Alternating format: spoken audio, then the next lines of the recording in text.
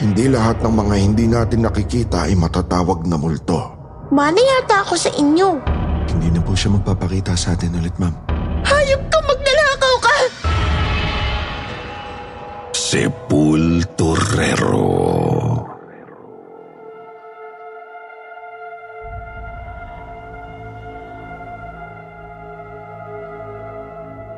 Isang mapagpalang araw po, Sir Jupiter, at sa lahat ng mga tagapakinig, taga-suporta at tagahanga ng kwentong takipsilim. Ako po si RM, 45 taong gulang. Nagtatrabaho sa isang bangko dito sa Maynila. Ang kwentong kababalaghan na ibabahagi ko po sa inyo ay kinuwento sa akin ng dati kong kaklase sa college. Itago na lang po natin siya sa pangalang Emmy. 25 years ago, nang ma-encounter ni Emmy ang isang hindi pangkaraniwang sepulturero na nakilala niya sa isang lumang sementeryo sa probinsya nila unang linggo ng Oktubre noon nang makilala niya si Mang Estong, ang sepulturero.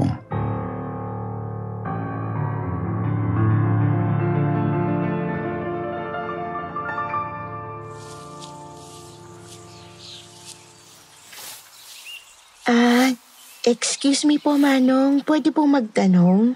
Ano po yun, ma'am? Alam niyo po ba kung saan inilipat yung puntod ni Nicanor Estancio? Nicanor Estancio. Ma'am, Familiar po yung pangalan. Parang, parang dito po banda sa likuran ng libingan nun eh. Kung hindi po ako nagkakamali. Opo, dyan nga po dati nakalibing ang tatay ko. Pero nasa Maynila kasi ako nang inilipat ng lolo ko sa ibang puntod ang labi ng tatay ko eh. Kayo ho bang sepulturero rito? Ah, ako nga po, ma'am. Emi na lang po ang itawag niyo sa akin. Ano po bang pangalan niyo, Manong? Estong po, ma'am. Ah, Manong Estong, hindi niyo po ba alam kung saan inilipat ang bangkay ng tatay ko? Eh, hindi po ba alam ng kasama ninyo? Ha? Sinong kasama ko? Yung lalaki maitim na may kapayatan, yung lalaki sa likuran ninyo, yung nakatayo sa ilalim ng puno. Ah, hindi niyo po ba siya kasama? Manong, mag-isa lang ho ako. Nagtayuan raw ang lahat ng balahibo ni Emmy, Sir Jupiter, nang lumingon siya sa likuran niya at tumingin sa ilalim ng puno. Wala namang lalaking maitim na mapayat siyang nakita dito. Sa takot niya raw na paghinalaan niya na baka may sayad sa utak ang sepulturero na nakausap niya. Wala namang lalaking maitim na nakatayo sa ilalim ng puno, Manong ah. Ah, eh, kanina, kanina kasi nakita ko yung lalaki. Eh, matangkad siya, humpak ang muka at, at mahaba ang buhok. Nakatitig po siya sa'yo. Manong naman eh. Huwag niyo nga akong takutin, please. Eh, hindi ko po kayo tinatakot, ma'am. Sadyang nakita ko... Salamat na lang ho. Aalis na po ako.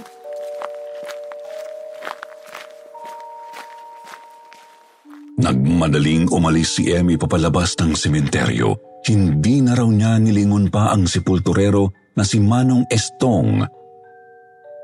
Nang sumunod na araw, maagang gumising si Emmy para ihatid sa public elementary school ang kanyang pamangkin na si Joshua.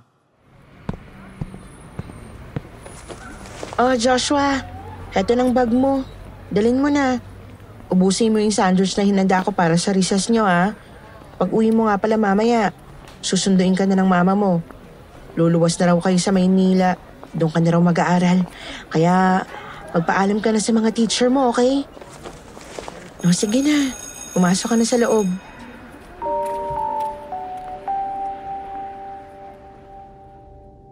Bigla raw natigilan si Emmy nang may makitang pamilyar na mukha ng isang lalaki.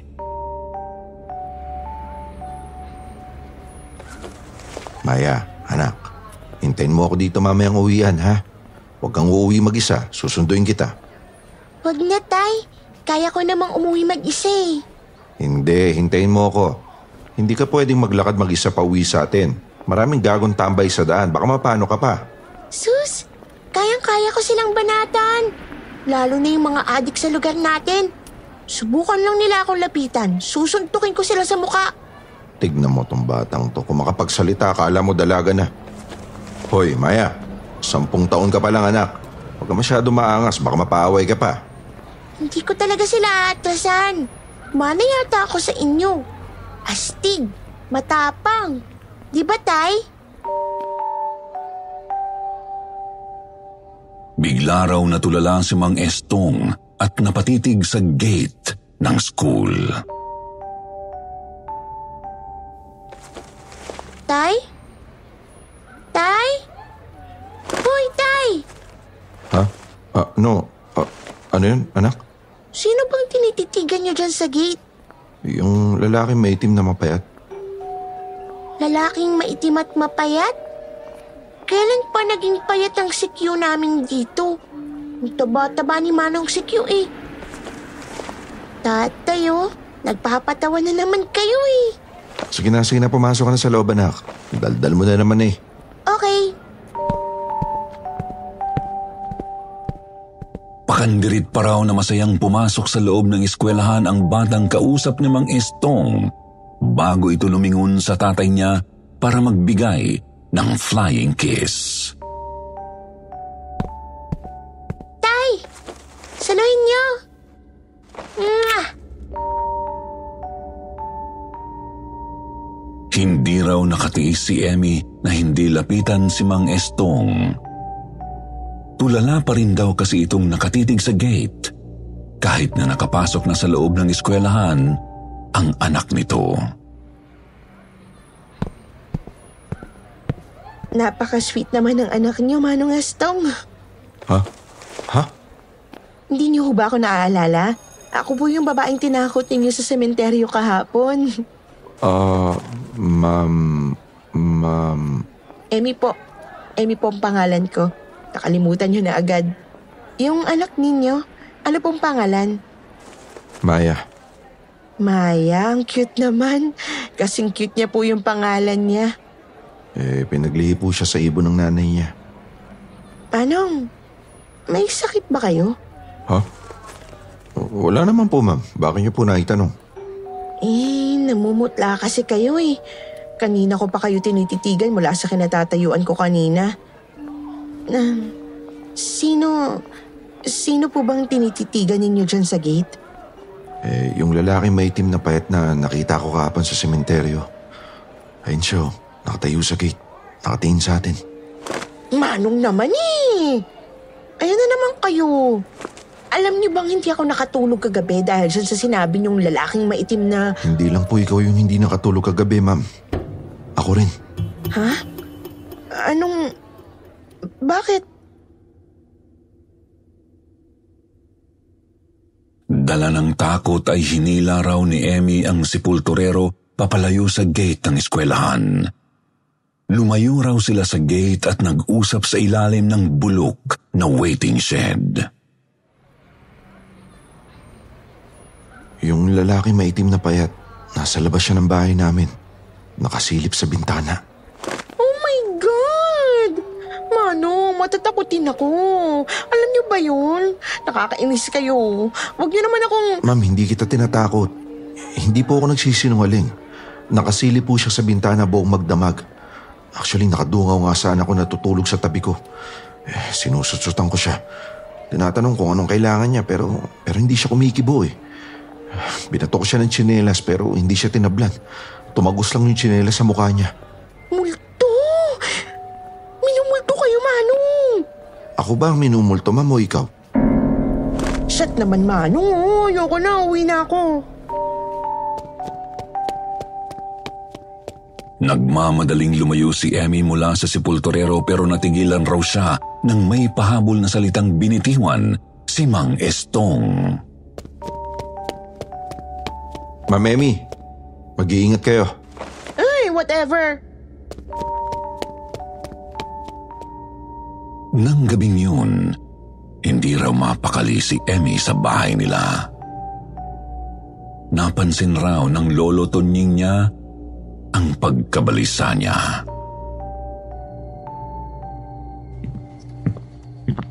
Eme, hating gabi na. Ba't gising ka pa? Namimiss mo ba ang pamangkin mo? Wala na siya. Nasa Maynila na sila ng nanay niya. Alam ko po, Eh bakit ba hindi ka pa pumasok sa kwarto mo at matulog? Pupunta tayo bukas ng maaga sa sementeryo para ipalinis ang puntod ng tatay mo. Malapit ng Todos Los Santos. Kailangan maayos at malinis ang libingan ng tatay mo. alam niyo na po ba kung saan makikita ang bagong puntod ng tatay? May nakausap akong sepulturero kaninang hapon sa sementeryo. Hinatid niya ako sa bagong puntod ng tatay mo. Talaga? Sino sepulturero ang nakausap ninyo? Eh, Estong raw ang pangalan niya. Si Manong Estong? Yung lalaking medyo may edad na, payat? May konting balba sa baba? Oo, yun nga. At mukhang kilala ka niya. Hinanap niya raw ang pangalan na binigay mo sa mga libingan na bago. At nakita niya nga raw ang pangalan ng ama mo. Maayos naman ang bagong nicho kaso madawag ang paligid. Maraming mga damong ligaw. Eh, basta ipapatabas natin sa sepulturero bukas yung mga damo ha. Kinontrata ko na siya. Naku, lo. Hindi na po ako sasama. Eh ba bakit? Tatay mo ang nakalibing doon. Gusto mo bang multuhin ka ng tatay mo? Yang si Manong Estong na sepulturero minumulto. Paano mo nasabi? Nung una ko hong punta sa sementeryo para hanapin ang bagong puntod ng tatay, napagtanungan ko yung sepulturero na nakausap ninyo. Alam niyo ba kung anong ginawa sa akin, Lolo? Ano? Tinakot ako. Huwag kang matakot sa lalaking maitim na payat, apo. Nakita niyo rin yung lalaking maitim, Lo? Nakita ng sepulturero na nakatayo raw sa likuran ko habang nakatayo ako sa bagong puntod ng tatay mo. Pero, nagpakita ba sa inyo yung lalaking maitim na payat, Lo? Ah, hindi. Wala ako nakita. Sinabi lang sa akin ng sepulturero na kasama mo rin daw ang lalaki nang una kang bumisita sa sementeryo. Lolo, minumulto tayo. Hindi ko masasabi, Apo. Hindi lahat ng mga hindi natin nakikita ay matatawag na multo. Kadalasan, may mga ibang espiritu na sadyang nagpapakita para magbigay ng mensahe. Espiritu? Hindi ba multo rin yun? May mga espiritu na dalisay at mabuti, tulad ng Espiritu Santo o Holy Spirit. Palagi akong tumatawag sa banal na Espiritu Santo sa tuwing sumisikip ang dibdib ko. Nananalangin ako na palakasin niya ang puso ko. Ang mga arkanghel at mga anghel ay masasabi ring mga espiritu. Espiritu na nagliligtas sa atin. Nagbabantay. Naghihintay. Sumusundo. Anghel na sumusundo? Tulad ng anghel ng kamatayan, Apo. Angel of Death? Diyos ko, ibig bang sabihin nun, may mamamatay, Lolo? Ay magmamadaling araw na. Itigil na natin ang usapang ito at matulog ka na. Sabahan mo na lang ako bukas sa sementeryo.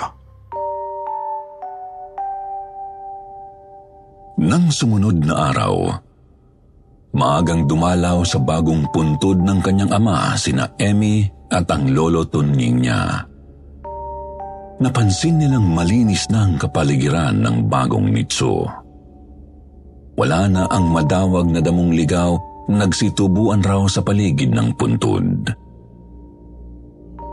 Hinanap nila ang sepulturero na si Manong Estong para bigyan ng bayad sa ginawa nitong paglilinis sa libingan. Ngunit hindi nila ito natagpuan sa sementeryo.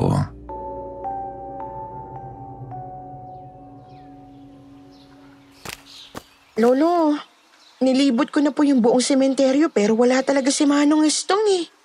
Ang mabuti pa umuwi na tayo. Baka umuulan. Wala tayong dalang payong. Ihatid ko muna kayo sa bahay bago ako bumili ng gamot niyo sa puso. Ay, ikaw ang bahala po. Halika na. Mga tanghali na nang maihatid ni Emmy ang kanyang lolo sa kanilang bahay. Napansin niya na raw na medyo hirap puminga ang lolo niya. Namumutla ito at panay ang hinga ng malalim. Sabay hawak sa sikmura nito. Lolo, okay lang po bang pakiramdam ninyo? Inaatake ba kayo sa puso? Okay ako, Apo. Wala ito.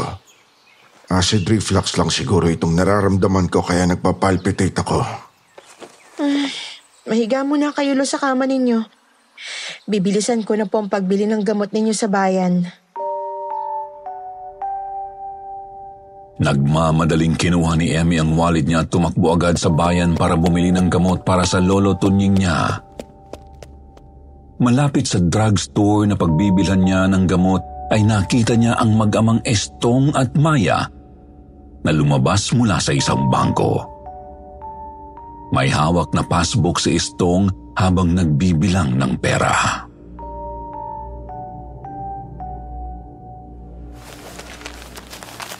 O ayan, Maya anak ha. May pambili na tayo ng cake para sa birthday mo bukas. Dapat hindi na kayo nag-withdraw, Tay. Okay lang naman ako kahit wala na akong handa eh. Ang laki-laki ko na para bilan niyo ako ng cake. Mga Stong, Oh, Ma'am Emmy. Salamat ho sa pagtabas ng damo sa libingan ng tatay ko. Ah, nako, madaling araw pa lang po. Gising na po ako ma'am para matapos ko ng maaga yung paglilinis ng bagong puntod ng tatay niyo. Eh, kailangan ko kasi umabot sa bangko para makapag-withdraw. Eh, birthday po kasi ng anak ko bukas. Eh, gusto ko siyang bilhan ng cake at ipagluto ng konting pansit. ay, birthday mo bukas, Maya? Kilala niyo po ako, ate? Oo naman. Napagkwentuhan ka na namin ng tatay mo. Tamang-tama pala at nakita ko kayo mga estong. Ito pong bayad sa paglilinis ng puntod ni tatay. Isang libo? Ma'am, ma'am, ang laki naman nito. 200 lang po yung singil ko sa paglilinis ng puntod. Pa-birthday na po namin kay Maya yung sukli. Kung may sobrang pera pa nga akong dala, dadagdagan ko pa sana yan.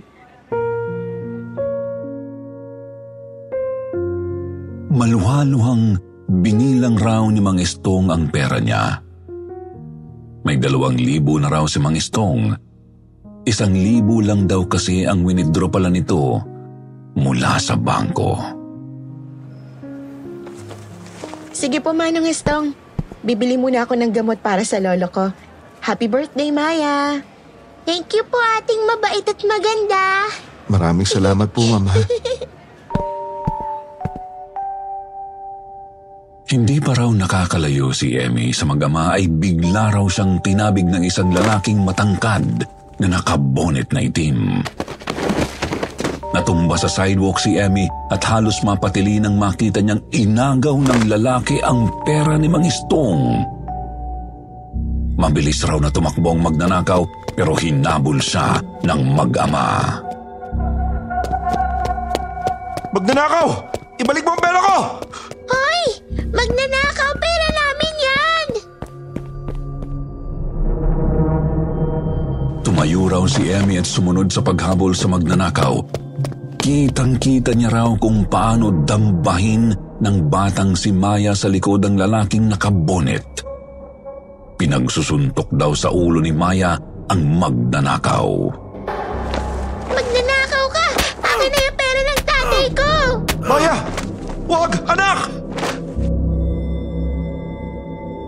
Pinagtulungan raw ni Namang Estong at Maya ang magnanakaw. Sinuntok raw ni Mang Estong ito sa mukha nang makita niyang ibinalibag ng magnanakaw ang anak niya sa simento. Nang masaktan at tuluyang dumugo ang bibig ng lalaki, ay galit na galit raw na bumunot ng baril mula sa likuran niya ang magnanakaw at pinaputukan si Mang Estong. Pero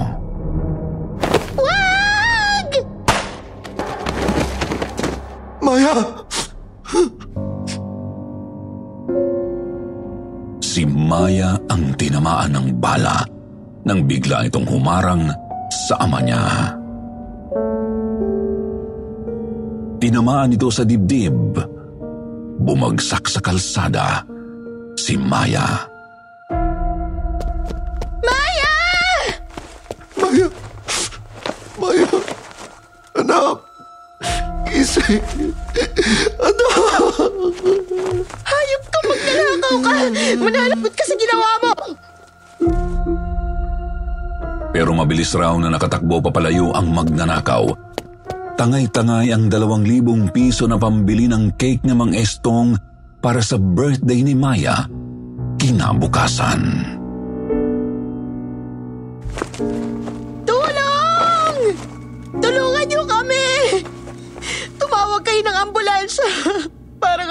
Niyo na. Tulungan niyo kaming dalhin sa ospital si Maya. Anak, bibili pa ako ng cake para sa birthday mo bukas eh. Dilat mo yung mga mata mo, anak. Akala ko ba? Akala ko ba ba nakakay tatay? Astig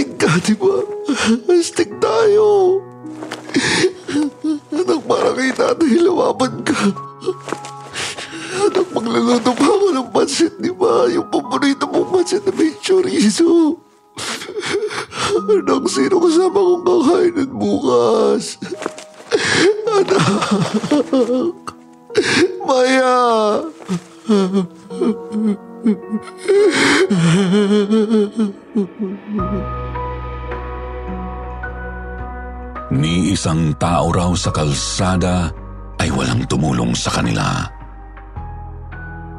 Umiiyak raw na niyakap ni Emmy ang kaawa-awang sepulturero.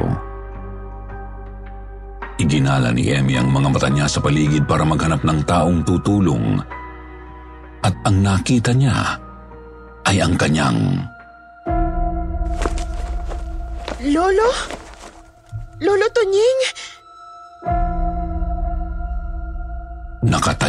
Raw sa di kalayuan ang lolo tunying ni Emmy. Wala raw ekspresyon ang mukha nito habang nakatitig sa kanya. Maya-maya pa ay nangilabot si Emmy nang makita ang isang lalaking maitim na mapayat na mahaba ang buhok na nakakulay puting damit na lumapit sa lolo tunying niya. Lo, anong ginagawa niyo dito? Hinawakan raw ng lalaking maitim ang kamay ng kanyang lolo at sabay na tumalikod sa kanya ang mga ito. Naglakad papalayo. Nawala ang atensyon niya sa papalayong lolo niya nang may tricycle na dumating para tulungan si Mang Estong na dalhin sa ospital ang anak nitong si Maya. Pagtingin niya sa direksyon na tinahak ng lalaking maitim na hawak-hawak ang lolo toning niya, ay hindi niya na ito nakita pa. Dinala nila Mang Estong at ng tricycle driver si Maya sa ospital. Tumakbo naman papauwi si Emmy sa bahay nila. Lo? Lolo Tunying? Lo, nasan ka? Natigilan si Emmy nang makitang nasa sahig ng kwarto ang lolo niya. Hawak-hawak ang dibdib at nakabuka ang bibig. Hindi na gumagalaw. Hindi na humihinga. Inatake sa puso ang lolo tunying niya.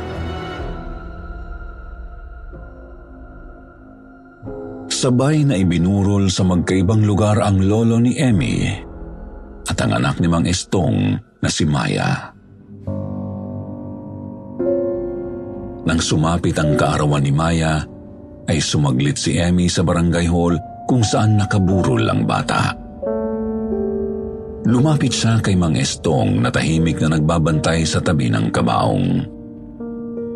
Sinilip ni Emmy ang bangkay ni Maya.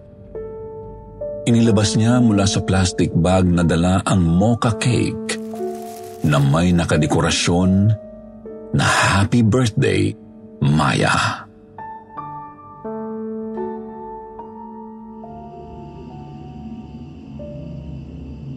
Maya, pinili kita ng cake. Pwede ba yung pansit? Bukas ko na lang dalhin sa'yo. Kasi... Kasi... Maya... kailangan ko ring asikasuhin ng lolo Tonying ko eh. Wala siyang bantay ngayon sa burol niya kasi... Kasi gusto ko...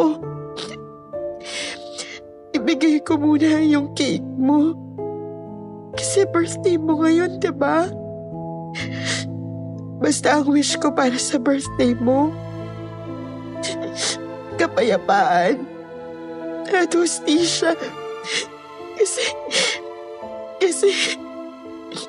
Hindi mo deserve yung ginawa sa'yo ng hayop na magdanakaw na yun. Yan ang wish ko para sa birthday mo. Rest in peace, Maya. Mahal na mahal ka ng tatay mo. Maraming, maraming salamat po, Ma'am Emmy. Niyakap ng mahigpit ni Mang Estong si Emmy. Napahagulgol si Emmy dala ng sobrang awa at sama ng loob.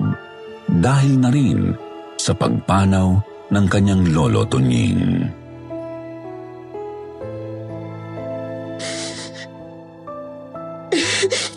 Mga stong, nakita ko rin siya. Nakita ko yung lalaking maitim na payat. Kasama niya si Lolo Tunying. Sinundo ng lalaking maitim ang lolo ko. Hindi na po siya magpapakita sa atin ulit, ma'am. Nakuha niya na rin yung matagal niyang gustong kunin sa akin. Ang totoo, tatlong buwan ko nang nakikita ang lalaking maitim na nagpabantay sa anak ko. Hindi ko lang alam kung ano o sino siya. Ngayon, alam ko na. Isa siyang sundo. Isang anghel ng kamatayan. Pero bakit kaya siya sumama sa akin sa sementeryo nung una nating pagkikita? Eh, hindi kaya... Eh, hindi kaya ako talaga yung gusto niyang sunduin?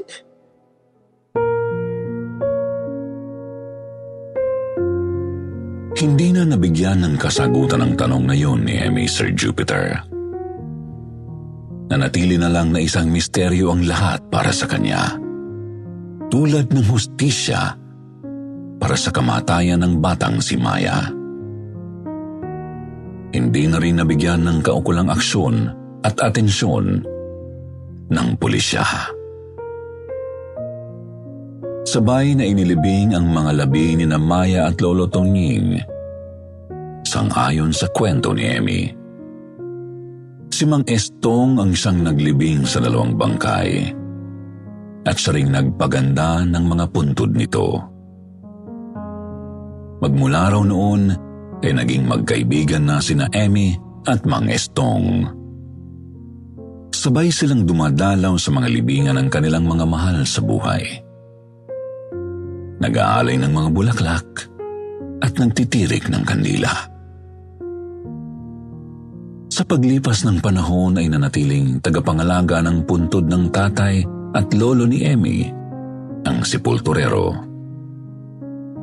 Si Mang Estong na hindi lamang mapagtitiwalaan na tao, kundi isa ring mapagmahal na ama. Dito na po nagwawakas ang kwento ko, Sir Jupiter. Sana po ay magustuhan ang kwentong ito ng lahat ng inyong mga tagapakinig. At sana ay may natutunan silang aral mula dito. Maraming salamat po. Hanggang sa muli. Magandang araw sa inyong lahat.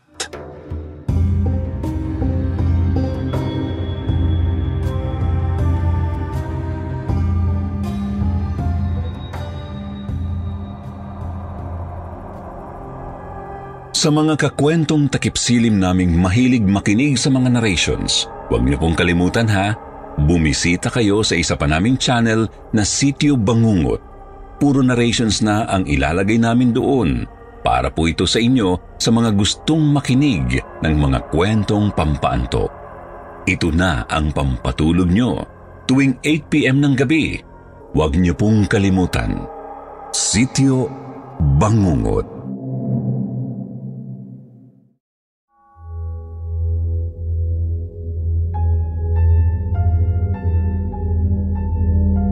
Miss Anne. Tawagin niyo na lamang po ako sa pangalang Marino. 55 taong gulang na dating seaman sa isang oil tanker. Laki po ako sa hirap. Namatay ang aking ina nang isilang niya ako. Kaya lumaki akong kapos sa pagmamahal ng magulang. Ako ang palaging sinisisi ng ama ko sa pagkamatay ng aking ina. Kaya hindi ako masyadong nakaramdam ng pagmamahal mula sa kanya. Dahil dito, ang nanay ng ina ko na kung tawagin ko ay si Lola Remy ang siyang nag-aruga sa akin.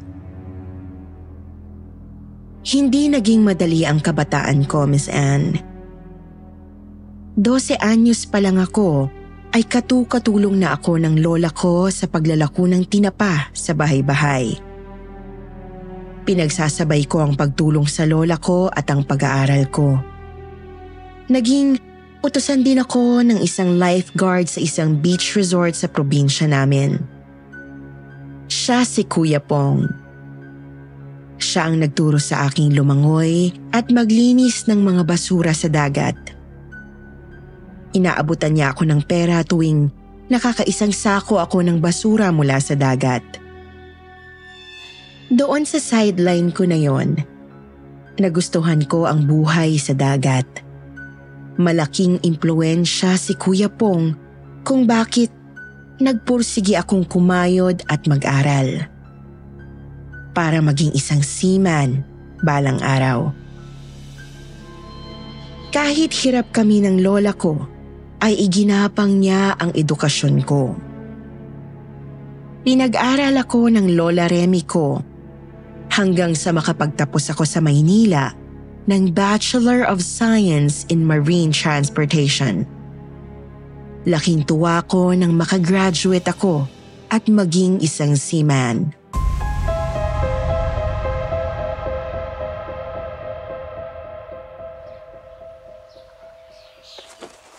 Congrats, Marino! Seaman ka na. Thank you, Claire. Tara, sama ka sa akin. Let's celebrate. Saan tayo? Sa dating gawi. Sa langit.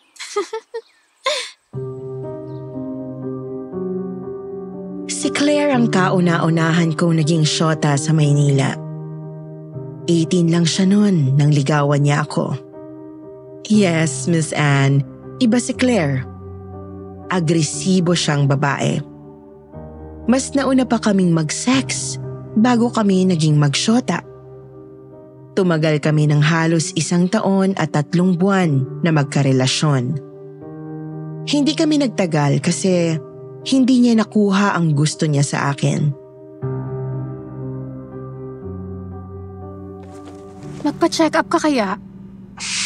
Wala naman akong sakit eh. Bakit ako magpapacheck up? Magpa-semen analysis ka. Isang taon na tayong halos gabi-gabing nagsisex. Hanggang ngayon, hindi pa rin ako nabubuntis. Oh, ayaw mo nun? Palagi kang safe sa akin. Ayoko. Gusto ko nang mabuntis. Gusto ko nang magkaanak. Ayoko na sa amin. Dahil sa kagustuhan ni Claire na mag-undergo ako ng semen fertility test, ay halos gumuho ang mundo ko nang malaman kong baog ako, Miss Anne. Hiniwalayan ako ni Claire dahil doon. Kasabay nun ay ang pagyaon ng Lola Remy ko dala ng sobrang katandaan. Sobrang basag ako noon, Miss Anne. Kaya nagpasya ako na sumampa na sa barko bilang seaman para makalayo at makalimot sa lungkot. Para makapag-move on na sa unang girlfriend kong si Claire. Ang ex ko na iniwan ako dahil baog ako. Doon sa unang saba ko sa barko bilang utility ay nakilala ko ang isang Pinoy chef si Haji. Mabait si Haji. Masayahing tao. Kalbo siya at may tattoo ni Popeye sa kanang braso. Palagi niya akong pinatatawa, inaaliw Siya ang naging tropa ko sa barko at siya rin ang nagpakilala sa akin kay Loisa. Isang sales lady sa Isitan Recto. Sa mga kwento ni Haji sa akin, maganda at mabait daw si Loisa. Perfect para pakasalan. Housewife material raw si Loisa. Pagbaba namin ng barko, sinet up kami ni Haji sa isang date. Sa unang pagkikita pa lang namin ni Loisa sa Harrison Plaza, ay tinamaan na ako agad sa kanya.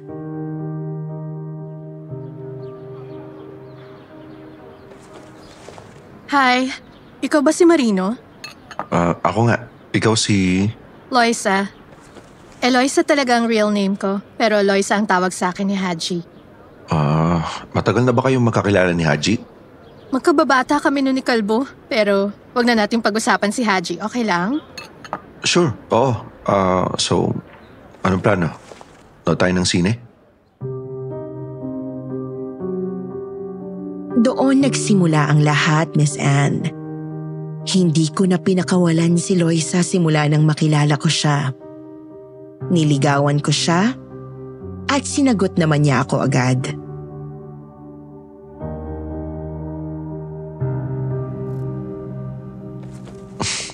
Bakit parang ang saya-saya ng honey ko ngayon?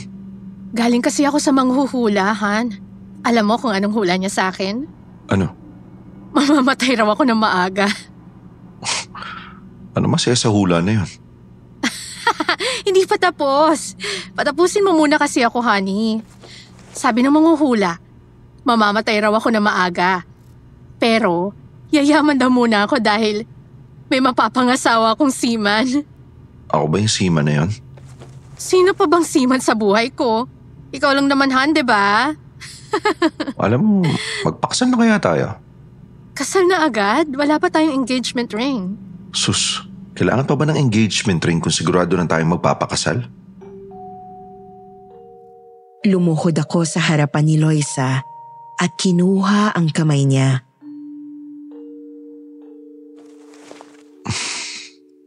Will you marry me? Walang singsing?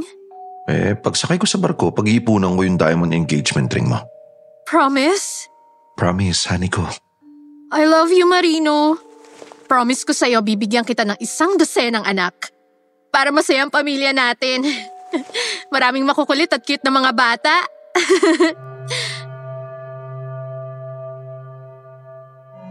Bigla akong kinabahan sa sinabing yun ni Loisa. Naalala ko bigla ang sinabi ng doktor sa akin. Baog daw ako at imposible raw na magkaanak. Honey, bakit tulala ka? Wala, honey. Um, nag-iisip lang ako kung saan ako... Kung saan ako bibili ng engagement ring mo. Doblehin mo ang budget mo, honey. Hindi lang diamond engagement ring ang bibilhin mo. Gold wedding ring din nating dalawa. Maluho si Loisa, Miss Anne. Materyosa. Mahilig sa mga alahas, branded na damit, at signature na sapatos. Pero kahit ganon siya, mahal na mahal ko siya. Siya ang naging dahilan kung bakit sumampa ako ng sumampa sa barko. LDR, long distance relationship. Dalawang taon kaming LDR ni Loisa hanggang sa makaipon ako ng malaking pera at naganap ang pinakamasayang araw sa buhay ko.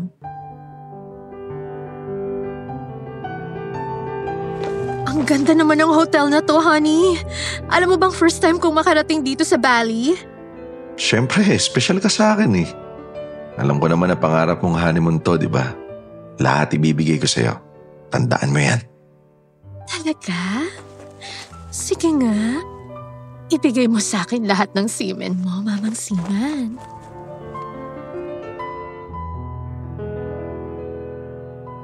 Ilang beses kaming nagtalik ni Loisa noong honeymoon namin, Miss Anne. Ibinigay ko lahat ng hilig niya sa katawan. Pinaligaya ko siya sa lahat ng bagay. Pero nang lumipas ang tatlong buwan, hindi pa pala sapat sa kanya ang lahat ng kaya kong ibigay.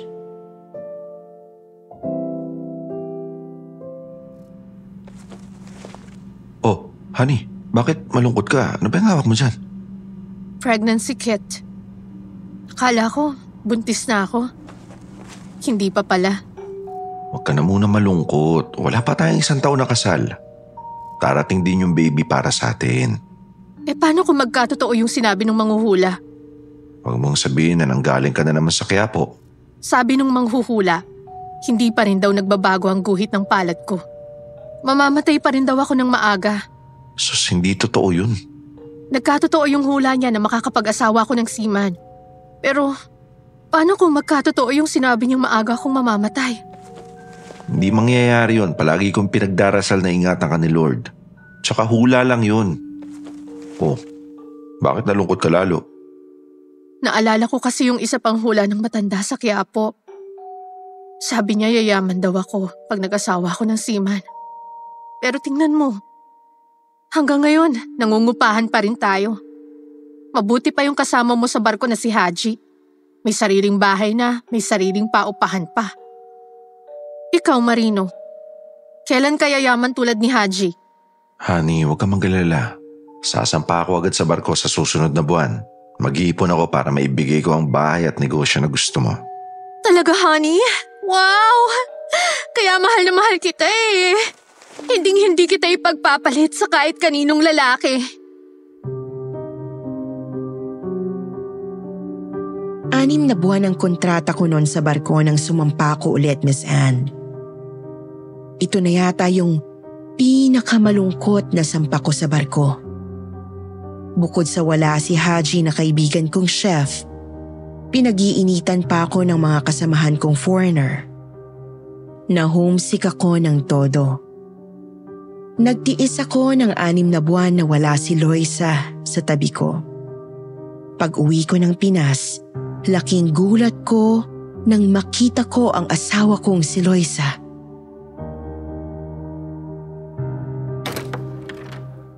Buntis ka? Oo, honey. Oh, bakit parang hindi ka masaya? Nilihim ko talaga to para masurpresa kapag uwi mo. Magkaka-baby na tayo. Teka, ilang buwan ka ng buntis? Six months na. Nakabuo tayo, honey, bago ka sumakay sa barko. Hindi ko alam kung paano ikukubli yung duda ko noon pero pinilit kong maging masaya, Miss Anne. Lumipas ang tatlong buwan at nanganak si Loisa ng baby boy. Pinangalanan niya itong Luigi. Nang maisilang si Luigi, ay hindi ko alam kung ano ang magiging reaksyon ko. Maitim ang kulay ng balat ng bata at medyo sarat ang ilong. Sa madaling salita, hindi ko kamukha ang sanggol. Lumipas ang dalawang buwan.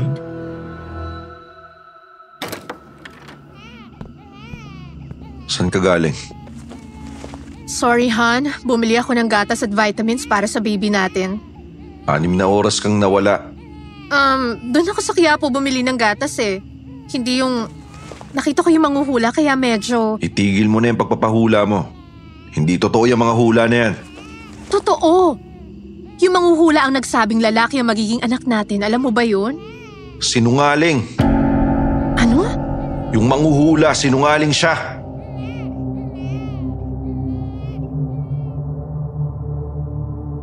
Hindi ko masabi sa asawa ko na baog ako. Paano siya nabuntis at nagkaanak nung nasa barko ako? Hindi ako tanga, Miss Anne. Malalim ako magmahal, pero hindi ako bobo. Alam ko na hindi ako ang ama ng sanggol na iniluwal ni Loisa. Hindi ako ang ama ni Luigi. Lumipas ang ilang buwan, napansin ni Loisa na hindi ako masyadong malapit sa bata. Lalo na nung mag-isang taong gulang si Luigi. kayo pupunta mag-ina? Dadalhin ko si Baby Luigi sa matandang manghuhula. Pati iba naman anak mo, idadamay mo dyan sa pagiging superstitious mo. Bakit galit ka? Hindi ako galit. Sige na, umalis ka. Sama mo yung anak mo. Kung magsalita ka, parang hindi mo anak si Luigi ah. Hindi ako nakakibo. Hindi ko kayang aminin ng totoo kay Loisa na baog ako. At imposibleng ako ang maging ama ni Luigi.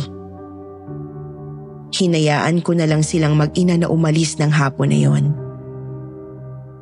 Lumala ng lumala ang pag-alis ni Loisa sa bahay ng mga sumunod na buwan. Iniiwan niya sa akin ang anak niyang si Luigi sa tuwing lumalabas siya sa gabi. Kinutuban ako sa mga galawan ng asawa ko. Lalo na sa tuwing hating gabi at magtatabi kami sa kama.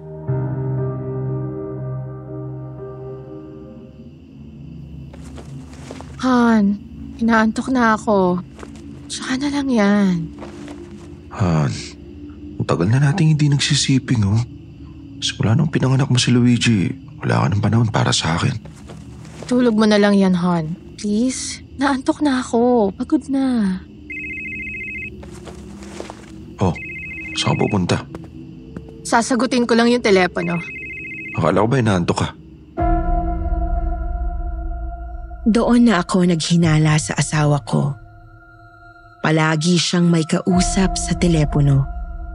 Pabulong siya kung makipag-usap. Kaya hindi ko marinig ang mga sinasabi niya. Pero isang umaga, natutulog pa ako noon nang mag-ring ang landline namin. Nagising ako pero hindi ako gumalaw.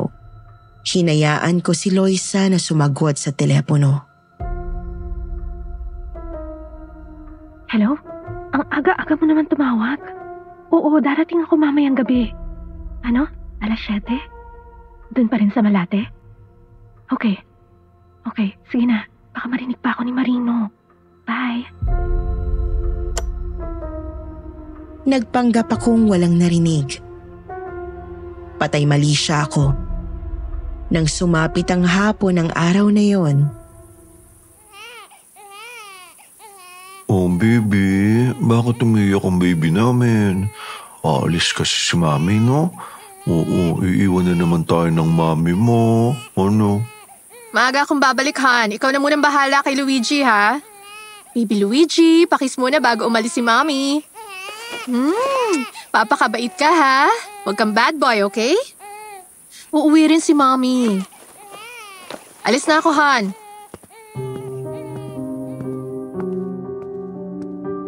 Umalis si Loisa na sobrang ganda sa suot niyang maikling palda at puting blouse. Yun na ang huling magandang alaala ko ng maganda niyang mukha. Dahil nang sumapit ang hating gabi ng araw ring yun, ibang Loisa na ang nakita ko sa napipina kotse ng isang malaking bus sa Rojas Boulevard.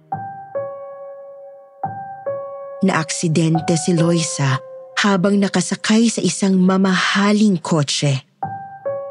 Basag ang bungo, wakwak ang mukha.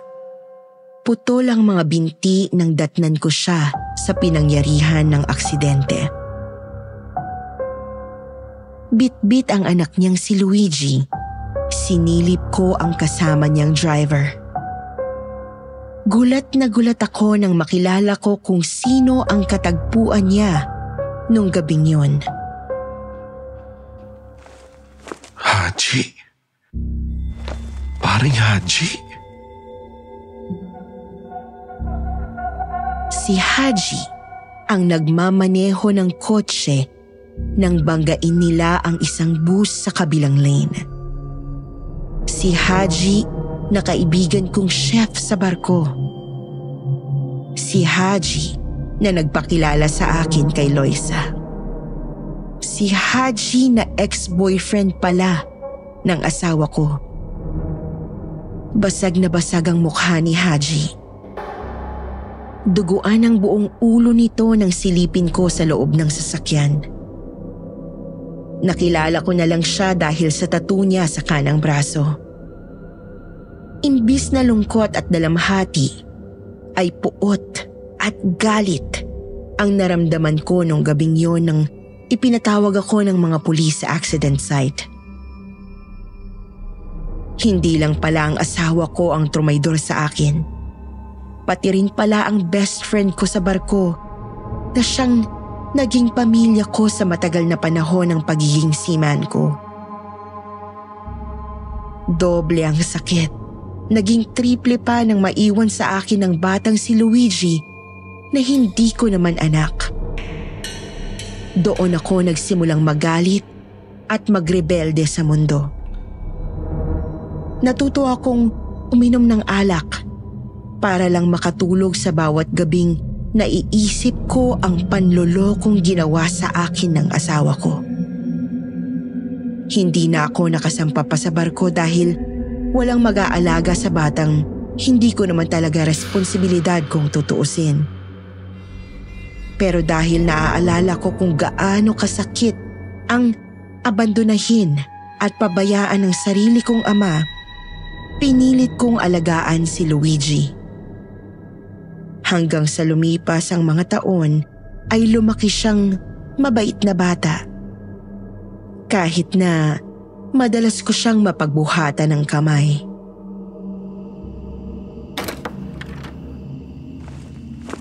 Daddy, pwede po bang, Oh, ano yan?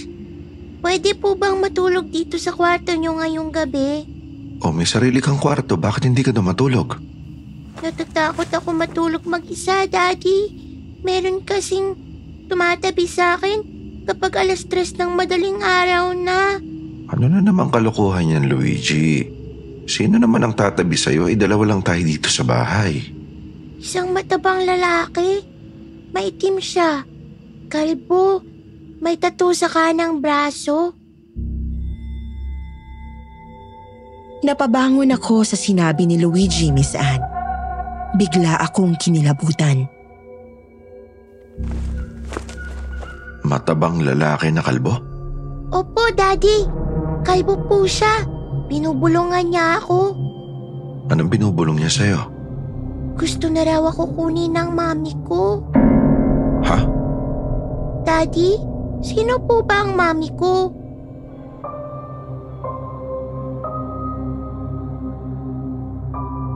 Hindi ko masagot si Luigi sa tuwing tinatanong niya sa akin kung sino ang mommy niya. Pagkatapos kasi ng aksidente, sinunog ko na lahat ng pictures, damit, sapatos at gamit ni Loisa. Binura ko ang lahat ng alaala ni Loisa. Ni hindi alam ni Luigi ang tunay na pangalan ng mommy niya. Lalong tumindi ang panghihilakpot ko nang ipatawag ako ng teacher ni Luigi sa eskwela isang araw. Good morning, ma'am. Pinapatawag niyo raw po. Marino? Claire? Teka, ikaw ang teacher ni Luigi? Oo, ako ang class advisor ni Luigi. Ikaw bang ang daddy niya? Ah, Claire, hindi alam ni Luigi yung totoo eh. Pwede bang wag mo na lang sabihin sa kanya yung alam mo tungkol sa... tungkol sa akin. Naiintindihan kita. Don't worry, Marino. People change. Iba yung Claire na nakilala mo noon sa Claire na teacher ng anak mo ngayon. Teka, bakit mo ako pinatawag? Anong ginawa ni Luigi? May problema ang bata, Marino. Malimit siyang magkulong sa toilet nitong school. Ayaw pumasok sa klase pero ayaw ding umuwi. Sinasaktan mo raw kasi siya. Totoo ba? Nakakayaman aminin pero minsan oo, napapalo ko siya lalo na kapag nagkukwento siya tungkol sa nakikita niya na Lalaking mataba na kalbo? Maitim na lalaki na may tattoo sa kanang braso? Teka, paano mo nalaman? Hindi siya nagsasalita sa tuwing kinakausap ko siya. Pero tignan mo tong drawing niya. Ito raw lalaki sa drawing na to ang palaging sumusunod sa kanya kahit saan siya magpunta. Kahit sa bahay niyo raw, nakikita niya ang lalaking to sa drawing niya. Hindi kaya may ESP ang anak mo? ESP? Third eye. Baka nakakakita siya at nakakausap ng mga multo o kaluluwa. Claire, may sasabihin ako pero... Pero ipangako mo sa akin na hindi mo sasabihin kay Luigi, okay? Okay, ano yun? Yang lalaki sa drawing, yan ang tunay niyang ama. Si Haji yan, ang nakabuntis kay Loisa nung nasa barko ko. Si Loisa ang asawa kong kasama ni Haji na namatay sa isang car accident.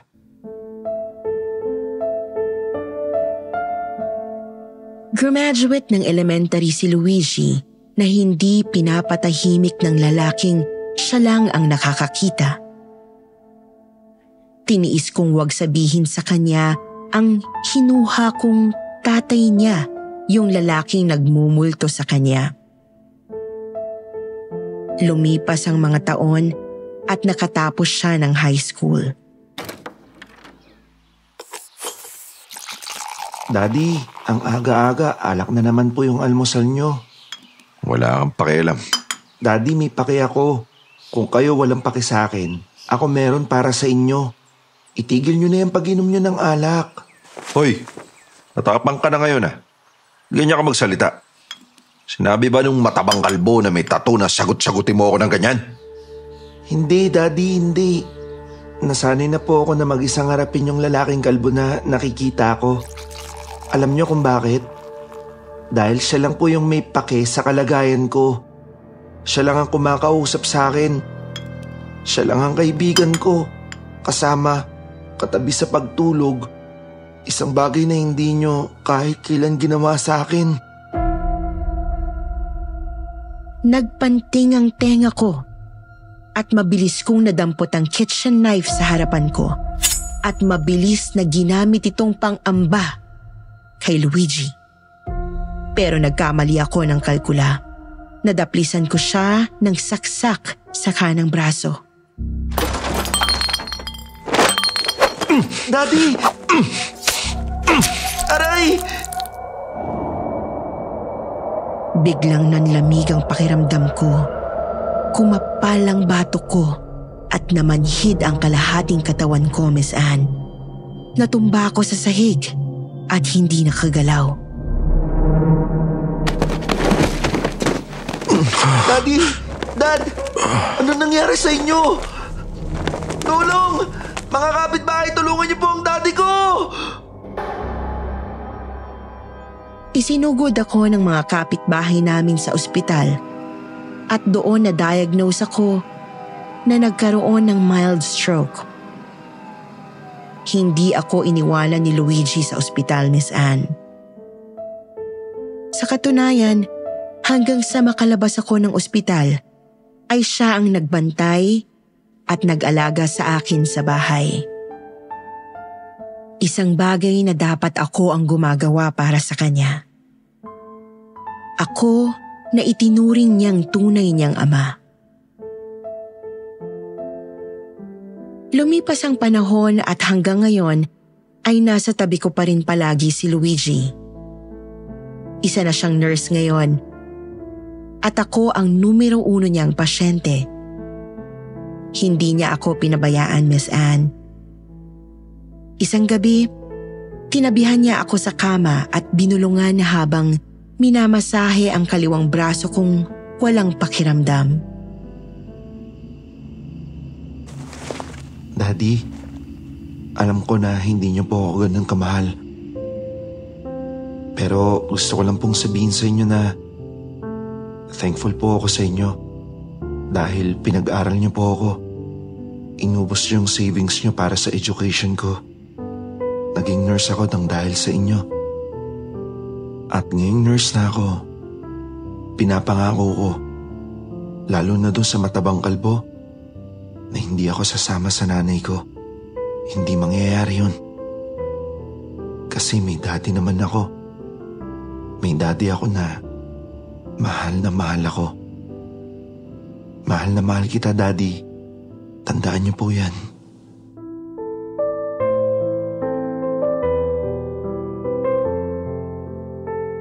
Niyakap ako ni Luigi habang umiiyak ng tahimik. Pagkatapos ay lumabas ng kwarto ko para ihanda ang mga gamot ko sa susunod na araw. Gusto kong umiyak ng gabi na yon pero pinigilan ko ang mga luha ko. Hindi ko man siya nayakap pabalik dahil meron pa rin pumipigil na malaking balakid sa dibdib ko. Ay nasambit ko naman sa isipan ko kung gaano ko siya kamahal. Miss Anne, ito po sana ang ihihingi ko sa inyo ng payo. Sa loob ng halos 25 taon ng pagpapalaki kay Luigi na hindi ko naman talaga anak, ay aaminin kong natutunan ko siyang mahalin habang lumalaki siya. Lalo na ngayong siya na lang ang nag-aalaga sa akin. Pero hindi ko po sa kanya masabi ang totoo na hindi ako ang tunay niyang ama dahil niloko ako ng kanyang ina. Paano po ba ako makakalaya mula sa bigat ng dibdib ko? At paano ako makakabawi kay Luigi na hanggang ngayon ay walang alam sa kung sino talaga ang tunay niyang mga magulang? Sana po ay maliwanagan ninyo ang isipan ko at matulungan ako sa kinasasadlakan kong lungkot at dalamhati ngayon. Umaasa, Marino. Marino, maraming salamat sa pagbabahagi ng kwento mo sa YouTube channel na ito. Isang bagay ang gusto ko lang ipayo sa iyo para makalaya ka na sa dilim na bumabalot sa paligid mo na ikaw rin naman ang lumikha. Magpatawad ka. Forgive the people who hurt you. Unahin mo ang taong unang nagdulot sa iyo ng sakit ng kalungkutan. Ang sarili mong ama. Alam ko na hindi ka nakaramdam ng tunay at buong pagmamahal mula sa tatay mo dahil ikaw ang sinisi niya sa pagkawala ng sarili mong ina ng isilang kanya. Kasalanan mo ba ang pagkamatay ng nanay mo? Hindi. Kung kaya't huwag mong gawin ang ginawa ng tatay mo kay Luigi na tinuturing kang tunay na ama. Sabi nga nila, hurt people, hurt people. Why hurt your son Luigi? Sa ginagawa mo sa kanya, lalo mo lang nilalayo ang sarili mo. Sa gusto ng Diyos na yakapin mo ang pagkakaroon ng sariling anak. Hindi kailangang maging sa dugo ang sukatan ng pagiging ama sa anak. Tanggapin mo si Luigi bilang tunay na anak. Sabihin mo sa kanya ang totoo na hindi ikaw ang tunay niyang ama. Ipakilala mo rin sa kanya ang yumao niyang ina. Karapatan niyang malaman ang lahat, Marino. Tanggapin mo yon. Dahil sa pagtanggap at pagpapatawad sa asawa mo at kaibigan mong trumaydor sa'yo, may kapalit na espesyal na regalo. At ito ang anak mong si Luigi. Pagpapatawad ang siyang magpapalaya sa'yo. Patawarin mo ang lahat ng mga taong nanakit sa'yo. At bumangon kang muli. Hindi lang sa sakit mo ngayon, kundi sa nakaraan mong ayaw mo pang bitawan sa ngayon. Always remember, forgiveness does not change the past, but it does brighten the future.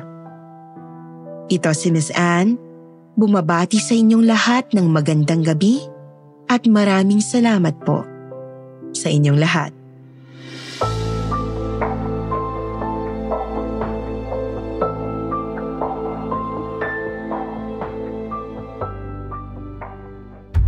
Alamin at pakinggan ang mga totoong kwento at salaysay sa likod ng mga misteryosong pagpatay at nakakamanghang pangyayari sa mga krimen na naganap sa iba't ibang sulok ng mundo. Takip Silim True Mystery Stories Ikikwento sa inyo ng inyong lingkod, Jupiter Torres. Jupiter Torres. Bisitahin ang aming channel sa YouTube. Takip Silim True Mystery Stories. mag-subscribe at i-click ang notification bell para updated kayo sa mga bagong uploads ng Takip Silim True Mystery Stories.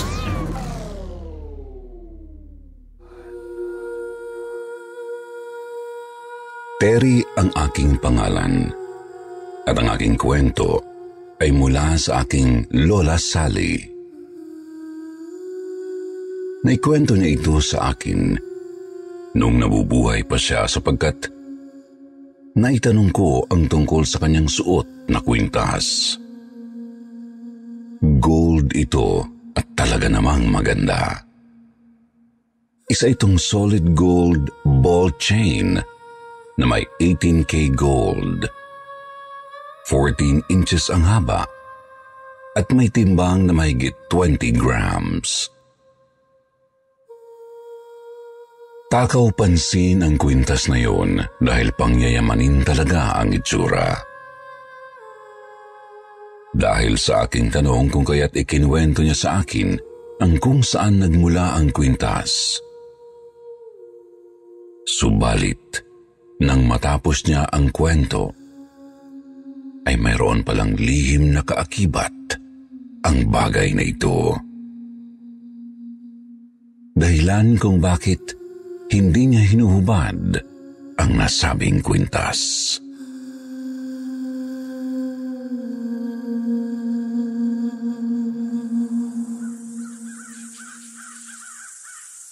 Nasa tapat daw siya ng bahay nila noon kasama ang kaibigang si Rebecca.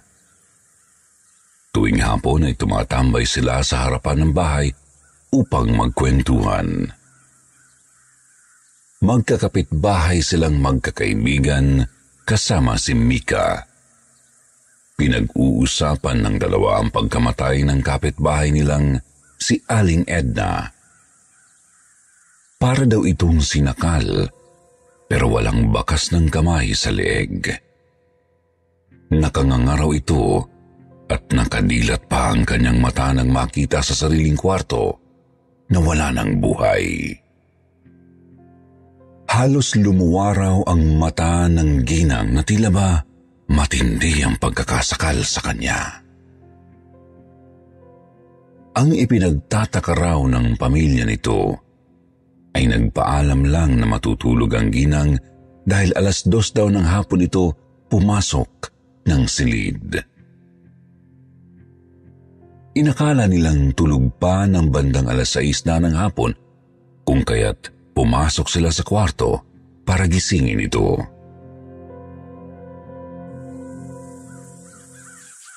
Habang nag-uusap ang dalawa, ay dumating ang kaibigan nilang si Mika. Tuwang-tuwa siya habang papalapit na ipinagtataka raw ng aking lola at ng kanyang kaibigan. Pagkalapit ni Mika sa kanila, ay agad na ipinakita nito ang napulot na kwintas sa tabing ilog. Isa-isa nilang tiningnan ang kwintas at isinukat. Tuwang-tuwa ang magkakaibigan. Dahil nga gawa sa ginto ang kwintas, nagkasundo sila na pumunta sa mag-aalahas upang ipasuri ang naturang kwintas. Nais din nilang malaman kung totoo ba itong ginto at kung magkano ang halaga nito kung sakaling kanilang ibebenta. Halos lumuwaraw ang mata ng magkakaibigan nang malamang 18k gold ang kwintas at maaaring ang ibenta ng mahal dahil mahaba ito at mabigat. Habang pauwi na sila, ay pinipilit ng lola ko na hiramin ang kwintas, ngunit ayaw naman ng kaibigan niyang si Mika. Kinabukasan nagkwento si Rebecca sa kanila Nanalamin daw siya habang sinusuklay ang buhok nang makita niyang tila may dumaan sa likuran niya. Mabilis lang itong naglakad, subalit nagtaka siya dahil mag-isa lamang siya sa silid. Kung sakali mang may papasok na ibang tao, ay tiyak makikita niyang magbubukas ang pinto dahil nakatalikod sa roon. Ngunit wala naman daw pumasok sa kanyang silid. Ginalaw raw niya ang salamin at nakita ang bahagi kung saan nagtungo ang dumaan sa likuran niya. Napakaripas daw siya ng takbo palabas ng silid nang makita niyang may nakatayong babae sa may aparador niya. Nakasuot ito ng puting saya, subalit ang nagdala ng kanyang takot ay wala raw itong ulo. Halos hindi naman makapaniwala sina Lola sa kwento ng kaibigan nilang si Rebecca. Sinabihan nila itong maaring na malikmata lamang. Subalit matapos ang ilang araw, nabalitaan ni Lola at ng kaibigan niyang si Mika napatay na raw ang kaibigan nilang si Rebecca. Nalaman nila sa pamilya nito na binangungot daw ang kanilang kaibigan.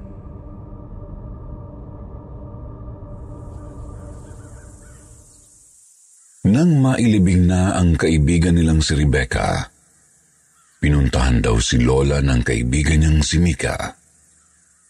Ibinigay raw sa kanya ang kwintas. Labis daw na nagtataka si Lola sa sinabi ni Mika sa kanya.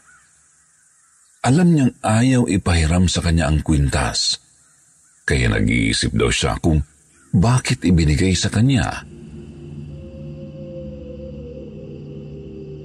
Tuwing gabi, bago raw matulog si Lola, ay nakasanayan na niyang sinusuklay ang buhok habang nakaharap sa salamin. Mahaba ang buhok ni Lola at ayaw niya itong pinagugupitan kung kaya't inaalagaan niya sa suklay. Naalala niya ang kwintas na ipinatago sa kanya ng kaibigang si Mika. Isinuot daw niya ito at tiningnan sa harap ng salamin. Tuwang-tuwa siya dahil bagay na bagay raw sa kanya ang kwintas. Hindi na niya hinuba ng kwintas hanggang kinaumagahan. Itinatago na lamang niya ito gamit ang malapad na panyo na nakatali sa kanyang leeg. Nang mahiga na raw si Lola, pinatay na niya ang ilaw. Maliwanag pa naman sa kwarto niya dahil hinayaan niyang nakabukas ang bintana. Bigla raw siyang napabangon dahil nakakita siya ng babaeng nakasuot ng puting mahabang damit na parang eleganteng pangtulog ng mga mayayaman. Pero halos hindi raw siya makakilos dahil sa takot ng makitang walang ulo ang babae. Titig na titig daw siya sa balikat nito hanggang lieg dahil pilit niyang inaaninag ang ulo nito, subalit wala talaga. Tumakbo raw siya sa kwarto ng kanyang magulang at doon nakitulog ng gabing iyon.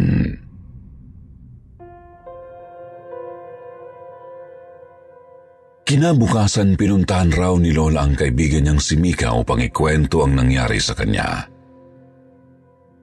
Subalit imbis na siya ang magkwento, ay inunahan siya ng kaibigan. Nakakita raw ito ng babaeng walang ulo habang siya ay nag-iipon ng tubig.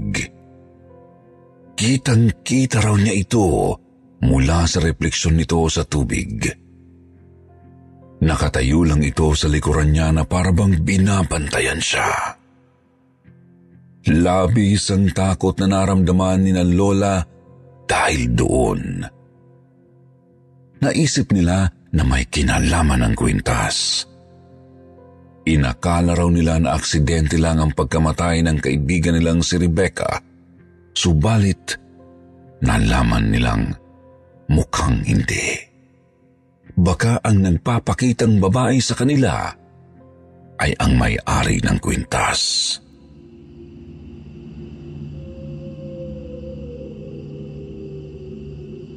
Noong ikalawang gabi naman daw, halos hindi raw makakilos si Lola at hindi rin makakain nang malaman niyang namatay ang kaibigan niya na si Mika. Sumama raw ito sa mga pinsan niya upang maligo sa ilog. Nalunod daw ang kaibigan niya na pinagtatakan niya dahil sanay itong lumangoy. Nalaman na lang daw ng mga pinsan nito na lumulutang na ang kaibigang si Mika sa ibabaw ng tubig. Nang dalhin daw nila sa pampang, dilat daw ang mata nito at nakanganga. Nakahawak daw sa kanyang lieg na parabang sinasakal ang sarili. Matapos ang ikasyam na gabi ng kaibigan niyang si Mika, nakatulog daw siya at napanaginipan ang mga kaibigan niya. Sa kanyang panaginip ay nagbibigay raw ito ng babala na huwag hubarin ang suot na kwintas upang mailigtas niya ang sarili. Habang kinakausap raw siya ng mga kaibigan niya sa panaginip, ay bigla raw silang tumakbo dahil hinahabol ang mga ito ng babaeng walang ulo. Kitang-kita raw ni Lola sa panaginip niya ang sarili na walang ulo. Nagising si Lola na takot na takot at pawis na pawis. Humarap daw si Lola sa salamin para tingnan ang suot niyang kwintas. Binalag daw alisin ni Lola ang kwintas sa kanyang leeg. Pero pinangungunahan siya ng takot. Naisip niya na baka pag inalis niya, mamamatay rin siya kagaya ng mga kaibigan niya. Nakarinig daw siya na parang may kumakatok sa bintana. Kaagad daw niya itong isinara. Pagkatapos ay bumalik sa kama. Pagkahiga ay naramdaman daw niya na parabang may gumagapang mula sa ilalim ng kama at gusto nitong lumabas. Nanginginig daw na tiningnan ni Lola ang ilalim ng kama niya. Una niyang nakita ang mga paa ng babae. Gumagapang daw itong palabas sa ilalim ng kama na una ang paa. Nanlambot daw siya at hindi makasigaw. Nakatitig lang daw siya sa babae hanggang sa nakatayo na ito sa gilid ng kama niya. Wala itong ulo. Nakaharap daw sa kanya ang babaeng pugot at iniunat pa ang kamay. Itinuturo raw siya. Pero maya-maya raw, naupo na lang ang babae sa gilid ng kama niya. Ang sabi sa akin ni Lola, mula raw noon ay binabantayan na siya ng babaeng pugot ang ulo. Sinunod daw niya ang payo ng mga kaibigan niya sa panaginip na huwag hubarin ang kwintas. Nagkaasawa na si Lola at nagkaroon na ng mga anak at apo. Kaya pinaniwalaan niya na iniligtas siya ng mga kaibigan. Namatay ang lola ko na suot ang kanyang kwintas. Kahit sobrang ganda ng kwintas na yon, walang naglalakas ng loob na humarin yon at isuot o isukat dahil ikinuwento rin pala ni Lola sa mga anak niya ang tungkol doon. Marahil ay naputol na rin ang sumpa ng kwintas dahil wala naman kaming naranasang kakaiba mula nang mamatay ang lola ko. Naikwento rin pala ng lola ko sa aking ina na baka raw ang nagmamayari ng kwintas na babaeng walang ulong nagmumulto ay yung natagpo ang bangkay sa gilid ng ilog noong bata pa sila. Naging usap-usapan daw ang bangkay dahil hindi naman taga roon sa kanila. Marahil baka doon itinapon.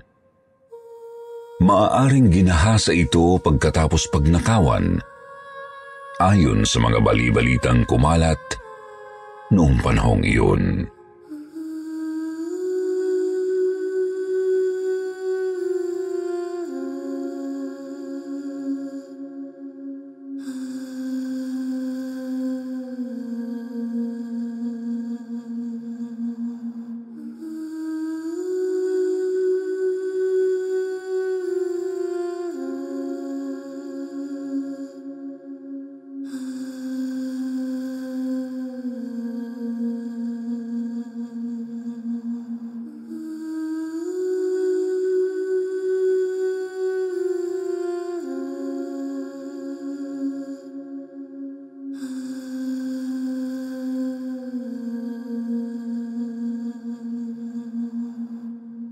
Kamay sa double deck.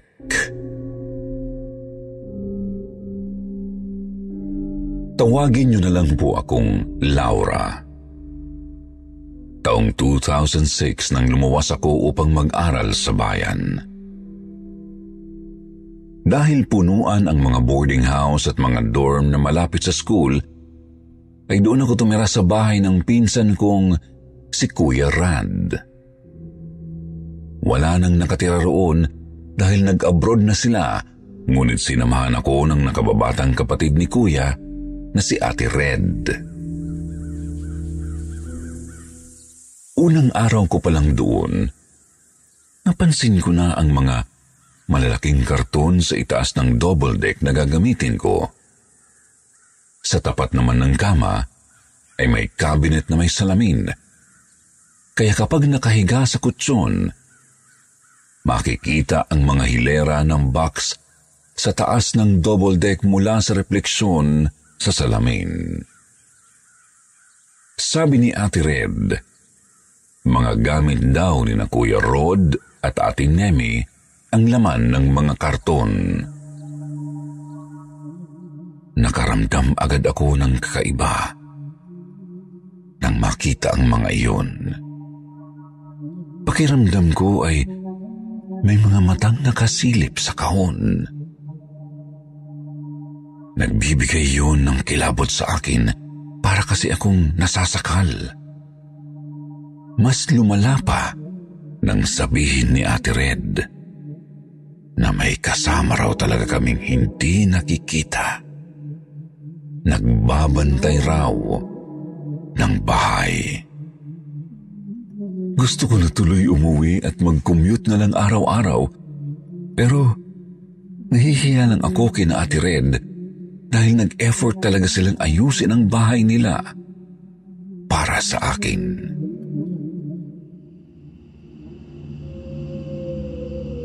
Unang gabi, kahit late na kami pumanik sa kanikanya naming kwarto, hindi pa rin ako makatulog. Kahit pa nakatutok din sa akin ang electric fan, ay maalinsangan pa rin ang aking pakiramdam.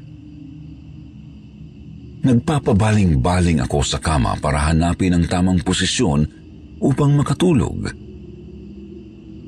Pero hindi talaga umiepekto. Tinakpan ko ng una ng aking tenga at pumikit. Hindi pa man ako tuluyang nakakatulog ay naramdaman ko ang pag-uga ng kama. Otomatikong napamulat ako ngunit nanatili akong nakahiga. Nakaharap ako sa pader at nasa likuran ko ang pinto ng kwarto. Pinakiramdaman ko muna bago tinawag si Ate Red. Pero walang sumagot. Umuga ulit ang kama na parabang may nagpapabaling-baling sa itaas. Doon ko napagtantong parang may nakahiga sa itaas ng double deck. Napapikit ako ng mariin. Ayaw kong lumingon. Ayaw kong lumingon dahil baka kung ano ang makita ko. Umusal na lang ako ng dalangin hanggang sa marinig kong tila may sumasabay sa akin sa pagdarasal. Tumigil ako pero hindi tumigil yung nagsasalita. Kabisadong kabisado nito ang ama namin. Doon na ako sumigaw. Sumigaw ako ng sumigaw hanggang sa puntahan ako ni Ate Red sa kwarto. Ikinwento ko sa kanya ang nangyari at kahit siya ay nagkwento rin ng kanyang karanasan sa kwartong yun. Sabi niya kwarto raw nila talaga yun ni Ate Ruby. Yung panganay nilang kapatid na namatay sa sakit na kanser. Noong namatay raw ito, ay panay ang paramdam nito sa kanya. Unang gabi raw ng burol noon nang pinagpahinga na siya sa pagbabantay at pag-aasikaso sa mga bisita. Nakatulog naman daw siya agad at nagising lang nang maramdamang gumagalaw ang kanyang kama.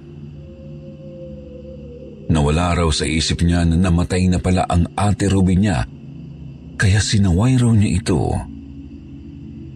Narinig pangaraw niyang umungol ito at sinabing pagod na pagod na daw siya.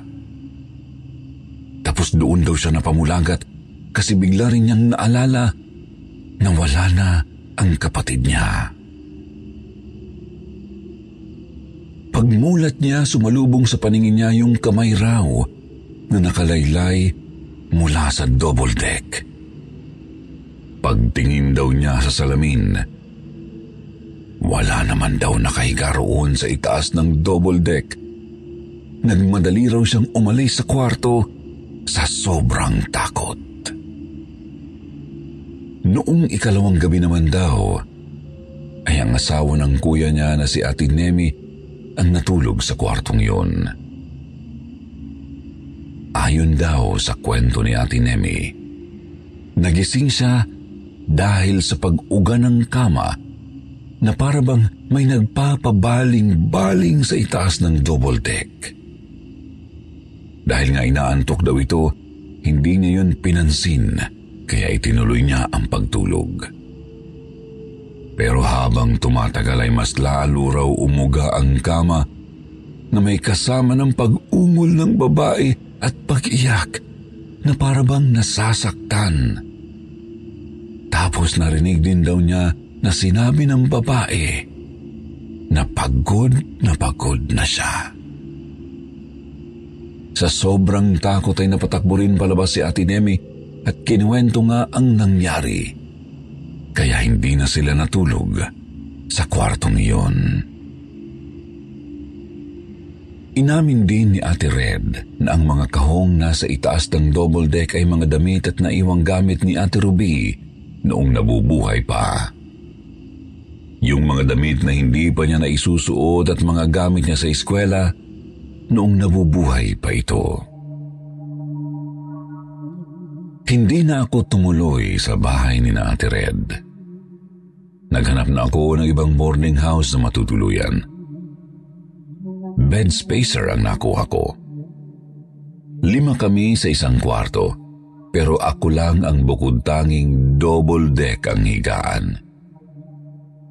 Yung taas ng double deck na hinihigaan ko ay pinaglagyan namin ng mga maleta namin kaya walang gumagamit noon. Maayos naman sa boarding house hanggang sa magdadalawang linggo na ako roon. Akala ko natapos na sa bahay ni na Ate Red ang pagpaparamdam ni Ate Ruby. Pero sinundan niya yata ako sa boarding house ko.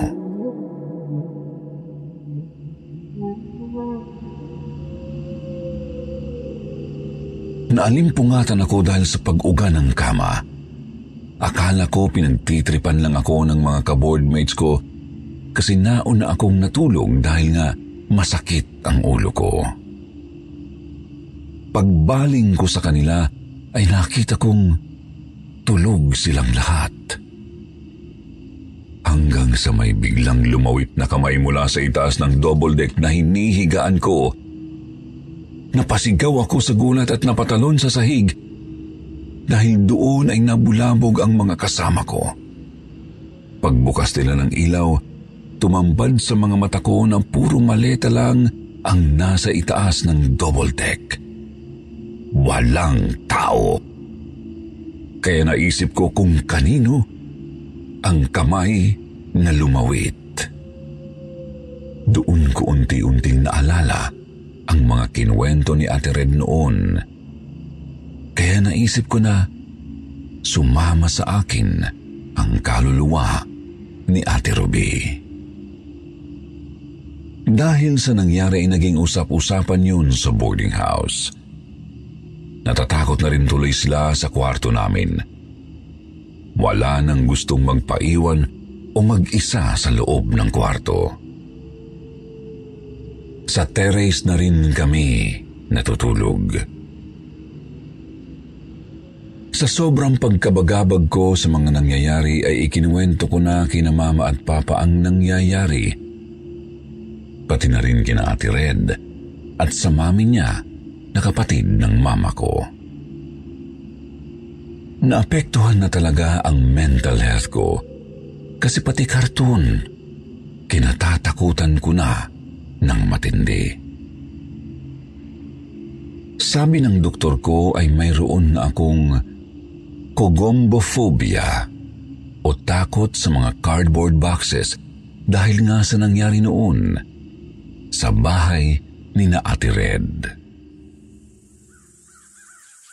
Agad namang nakahanap si na mama na magtatawas sa akin. Isa itong matandang lalaki na nagngangalang Mang Sido.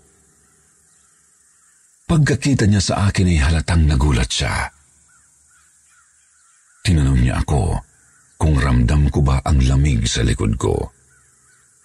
Sabi ko ay oo. Nararamdaman ko yun matagal na noon pang nasa bahay kami ni na Ate Red noong unang gabi ko roon. Tumangu-tangu siya bago naupo sa tapat ko. Pagkalatag ng mga gamit niya ay agad siyang kumuha ng papel. Itinapat niya iyon sa akin. Gamit ang isa niyang kamay ay binasa niya ng langis ang kanyang buong palad. Sa kanya pinahira ng krus ang aking noo gamit ang hinlalaki na may langis. Unti-unti niyang idinikit ang kanyang palad na may langis sa papel hanggang sa dumikit ito sa noo ko. Naririnig ko ring umusal siya ng isang ama namin, isang Ave Maria at isang Gloria bago tinanggal ang palad at papel sa noo ko. Nang ilatag niya ang papel sa lamesa, halos lumuwa ang mata ko sa imaheng naroon. Mukha ito ng isang babae. Hindi lang basta mukha, kundi kamukha ni Ate Red. Sabi ni Mang Sido, yun daw ang nasa likod ko. Aniyang wala naman daw itong intensyong saktan ako o galawin. Nawiwili lang daw ito sa akin dahil sa aking maliwanag na enerhiya kaya ito sumusunod sa akin at nagpaparamdam. Inaamin ko rin naman na hindi ko kaklose si Ate Ruby dahil nga palagi itong nasa ospital habang ako naman ay nag-aaral sa high school. Hanggang nga sa namatay na ito dahil sa sakit. Para sa aking proteksyon, binigyan ako ni Mang Sido ng eskapularyo at sinabihan na rin kaming mag-alay ng requiem kay Ate Ruby. Matapos yun, hindi na ako ginagambala pa ni Ate Ruby. Palagi rin namin siyang inaalayan ng requiem tuwing misa ng linggo.